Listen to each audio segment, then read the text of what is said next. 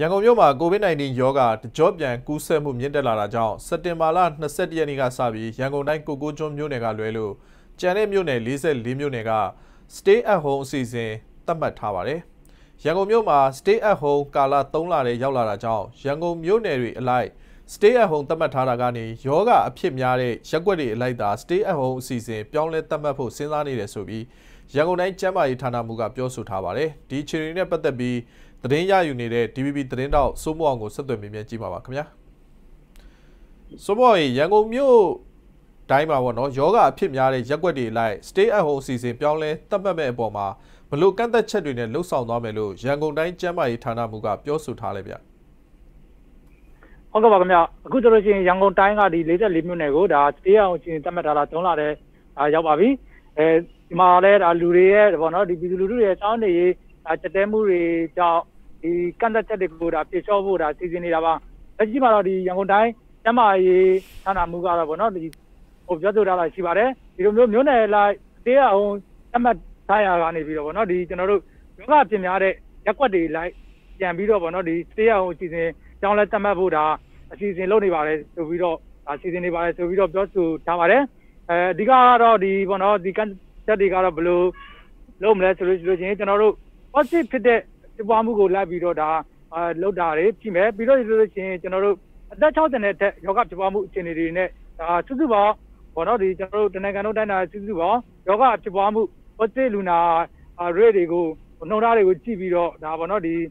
ဟိုတတ်မှတ်မယ်ဆိုပြီးတော့ဒါပြောဆိုထားတာရှိပါခင်ဗျလက်ရှိမှာတော့ဒါနေပြင်စင်းကောက်ယူမှုတွေလုပ်ပြီးတော့ဟိုဒါဘောနော်ဒီကျွန်တော်တို့ဟိုစနစ်တကျသူတို့ဟိုစီမံကိန်းတွေလုပ်နေတယ်ပြီးတော့ဆိုလို့ရှိရင်ဒါကျွန်တော်တို့ဟိုဘောနော်ဟိုမြေပြင်မှာဒီစနစ်တကျဟိုလုံးနေတာတွေလည်းရှိတာပေါ့ဒီစင်းကောက်မှုတွေအပြင်ဟိုကျွန်တော် view ကရေးဆွဲပြီးတော့လုံးနေတယ်ဆိုပြီးတော့ဒါပြောဆိုထားပါတယ်အများဆုံးဖြစ်အောင်လို့တော့ဒါတို့တွေနဲ့ဒါလုပ်ပါမယ်ဆိုပြီးတော့ပြောပါတယ်ခင်ဗျ ဟုတ်ကဲ့နောက်တစ်ခုကရန်ကုန်မြို့မှာ stay at home ကာလရှေ့ကြာလာတဲ့အပေါ်မှာပေါ့နော်စားဝတ်နေခက်ခဲလာတဲ့ပြည်သူတွေနဲ့ဆိုင်ရှင်တွေကိုသူတို့အနေနဲ့ဘလို့ဖြေလျှော့မှုတွေလုပ်ပေးဖို့ရှိလဲဗျာဟုတ်ကဲ့ပါကျမရေးဌာနမှုကတော့ဗောနော်ဒီတိုင်းကျမရေးဌာနမှုကတော့ပြည်သူတွေအနေနဲ့အဲ့ဒါရုပ်ကတပါမှုကလည်းတစ်နှစ်လောက်ဖြစ်လာပြီဒီပေါ်မှာလည်းဒါဗောနော်ဒီဟိုစိတ်ဒီဗောလူတွေရဲ့စိတ်တွေရတာဗောအပြင်ထွက်ချင်မှုတွေရှိလာသလိုဒါဆိုင်ရှင်တွေကလည်းဒါသူတို့စီးပွားရေးကျင်တွေရဒါဆိုင် ဖွင့်ကျင်တာတွေဟိုစားသောက်ဆိုင်ဖွင့်ကျင်တာတွေရှိလာတဲ့ပုံမှာပြောဆိုမှုတွေလည်းရှိလာတယ်အဲ့ပုံမှာသူတို့အနေနဲ့ကျမရေးဌာနတွေအနေနဲ့သက်ဆိုင်ရာကျွန်တော်ကုန်စည်စက်မှုအသင်းချုပ်တွေပြီးတော့ဆိုလို့ရှိရင်ကျွန်တော်တို့ဟိုစောက်တော့လုပ်ငန်းပေါ့နော်ဒီအသင်းဖွဲ့နေတာဆွေးနွေးနေတာရှိပါတယ်ဒီကဘယ်လိုလုပ်မလဲဆိုလို့ရှိလို့ရှင်တော့ဒါဟိုတိုင်ရှင်တွေလုပ်ရမယ်လိုင်းနာရမယ်စီကံတွေအလုပ်သမားတွေလိုင်းနာရမယ်စီကံတွေနဲ့ဒါစောက်တော့ကျွန်တော်တို့စောက်တော့မဲ့ customer တွေကလိုင်းနာရမယ်စီကံတွေကိုပေါ့နော်သူတို့ရွေးစဲနေတာဟိုဘောဆိုဆွေးနွေးနေတာရှိပါတယ်အပြီးတော့ဆိုလို့ရှိရင်တော့ဒါဟို တိုင်တွေရဲ့လိုင်းနာမှုပိုင်းနဲ့ပြပြင်ဆင်ရမယ့်ပိုင်းတွေကိုလည်းဒါအတွင်းဆွေးနွေးနေတာရှိပါတယ်ဆိုပြီးတော့ပြောပါခင်ဗျရန်ကုန်တိုင်းလူမျိုးရေးဝန်ကြီးဦးနိုင်ငံနေကတော့ဟိုကျွန်တော်တို့ဗောနော်ဒီပြည်သူတွေအနေနဲ့ဒါလောဆယ်မှာစောင်းနေတက်တာတက်တဲလာတဲ့အပေါ်မှာကျွန်တော်တို့ဗောနော်တချို့ဆိုကြချင်းနေတာဗောနော်ဟိုငမ်းမမှုတွေပါဒါသူတို့ပြန်ကြားရတဲ့ဆိုပြီးတော့ဟိုရှိတယ်ဗောနော်အဲ့ပေါ်မှာလည်းဒါသူတို့အနေနဲ့ပြည်သူတွေအနေနဲ့မထွက်ရ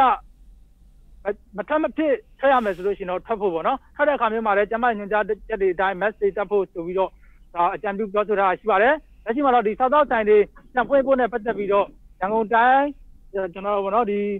ဟိုလူမျိုးဝင်ကြီးဦးနိုင်ငံလင်းကတော့ဒါဒီပါရဲ့တက်တဲ့လို့ဆိုင်ရှင်တွေနဲ့စောက်တော့ဆိုင်တွေဘောနော်မဖွင့်လို့မရဘူးဖွင့်ရမယ်ဆိုလို့ရှိရင်တော့မှပဲဒါသူတို့တွေနဲ့ဘောနော်ဖွင့်ခွင့်ဖွင့်ခြင်းနဲ့ဖွင့်ဆိုတဲ့သဘောမျိုးဒါပြောဆိုထားတာတွေ့ရပါတယ်ဒါပေမဲ့ကျမရဲ့ကန့်သက်ချက်တွေကိုတော့ပြီးပြီးကြကြလိုက်နာဖို့လိုမယ်ဆိုပြီးတော့ပြောဆိုထားပါတယ်လက်ရှိမှာတော့ဒီရန်ကုန်တိုင်းမှာ ဆိုင်ဖွင့်ဖို့နဲ့ပတ်သက်ပြီးတော့ဒါဖွင့်ဖို့ပြန်ပြီးတော့ညွှန်ကြားထားတာမျိုးတွေတော့မရှိသေးဘူးဆိုပြီးတော့ပြောပါခင်ဗျဟုတ်ကဲ့ဟုတ်ကဲ့ကိုစိုးမောရင်ဒီ stay at home ပြင်ဆင်သတ်မှတ်မဲ့အပေါ်မှာပေါ့နော်အခုလိုမျိုးဖြည့်လျှော့မှုတွေလုပ်မယ်ဆိုလို့ရှိရင်ဒီလက်ရှိလုပ်ငန်းရှင်တွေနဲ့ပြည်သူတွေရဲ့သဘောထားရောဘယ်လိုများရှိလဲဗျဟုတ်ကဲ့ပါပြည်သူတွေကတော့ပေါ့နော်ဒါစေးအောင်ကာလကလည်းကြေကြလာဆိုစီးပွားရေးကြက်တဲမှုတွေကြောင့်ဒါပေါ့နော်ဒီကျွန်တော်တို့စေးအောင်ကာလကိုဒါလွန်မြောက်ချင်ပြီပေါ့ကြောက်စုမှုတွေရှိပါတယ်အဲ ဒီပေါ်မှာစေးအောင်ကာလသတ်မှတ်ထားတဲ့ပုံမှာဒါပေါ့နော်ဒီတိုင်းကြော်ပြည်ကြော်တွေဒီနယ်ကြော်တွေတွားလို့မရတဲ့အနေအထားရှိလို့စီးပွားရေးရလဲဒါအခက်အခဲတွေရှိနေတဲ့ပုံမှာပြည်သူတွေကတော့ဒါပြန်ဖွင့်ပေးခြင်းပြီပေါ့ဟုတ်ကဲ့ကျွန်တော်စီးပွားရေးလုပ်ငန်းရှင်တူဖြစ်တဲ့ပေါ့နော်ဒီ UNCCI အတင်းချုပ်ကဒီမိုကရက်ဖြစ်တဲ့ဒေါက်တာမောင်မောင်လေးကိုမေးကြည့်တဲ့အခါမျိုးမှာတော့နိုင်ငံတကာမှာလည်းပေါ့နော်ဒါကျမရေးနဲ့ဒါကျွန်တော်တို့စီးပွားရေးကိုဒါနိုင်ငံတကာအစိုးရတွေကိုယ်တိုင်ကဒါစနစ်တကျပေါ့နော်ဒီ ကျွန်တော်တို့ကင်တွယ်နေရတဲ့အနေအထားမျိုးရှိတဲ့ဆိုပြီးပြောပါတယ်တကယ်လို့များစီးပွားရေးကိုပေါ့နော်ဒီတောက်ချပြီးတော့လုပ်မယ်ဆိုလို့ရှိလို့ရှိရင်လည်းအမေရိကန်လိုမျိုးပေါ့နော်ကုသမှုတွေမြင်နိုင်တဲ့အနေအထားမှာရှိတယ်ဆိုပြီးတော့လည်းဒါသူကသုံးသက်ပြောဆိုထားပါခင်ဗျလက်ရှိမှာကလည်းဒါဘောနော်နိုင်ငံတကာမှာလည်းဒီပါဝါကျင်းတွေထုတ်နေပြီမဲ့ဒါဝီယော်ဒီတွေဖြစ်နေတဲ့အပေါ်မှာဒါလက်ရှိချိန်ကြီးတော့ဘောနော်ဒါစီးပွားရေးကိုတောက်ချပြီးမလုံးနိုင်တဲ့အနေအထားရှိတယ်ဆိုပြောပါတယ်မြန်မာနိုင်ငံမှာလည်းဒီလိုမျိုးတေးအောင်ကာလာဖြစ်ချော့မယ်ဆိုလို့ဆိုရှင်တော့အစိုးရအနေနဲ့ ဟိုဘောနော်ဒီလုံးစစ်ဟိုဖြစ်ချော့မဲ့ဘိုင်းတွေကိုတိတိကျကျထုတ်ပြန်ဖို့လိုတယ်ဆိုပြီးပြောပါတယ်တေးအောင်အစီအစဉ်တွေဖြစ်ချော့မယ်ဆိုလို့ရှိရင်တော့ဒါအသေးစားလက်စားစီးပွားရေးလုပ်ငန်းတွေကပြန်လဲလန်ထူလာနိုင်မဲ့ပြန်လုံနိုင်မဲ့သဘောကိုပြောပါတယ်တစ်ဖက်ကလည်းစိုးရင်ကြရှိတာကတော့ဒီလိုလုပ်ပြင်မဲ့ပေါ့နော်ကျွန်တော်တို့ဒီက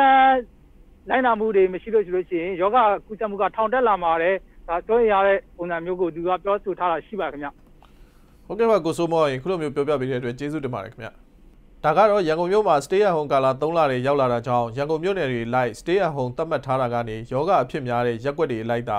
stay at home အစီအစဉ်ပြောင်းလဲသတ်မှတ်ဖို့စဉ်းစားနေတယ်ဆိုတဲ့ခြေအနေကိုဆက်သွယ်မြင်မြန်ကြည့်ခဲ့တာပဲဖြစ်ပါတယ်ဆက်လက်ပြီးတော့လေကြန့်ရှိနေတဲ့သတင်းတွေကိုတင်ဆက်ပေးသွားအောင်ပါပါ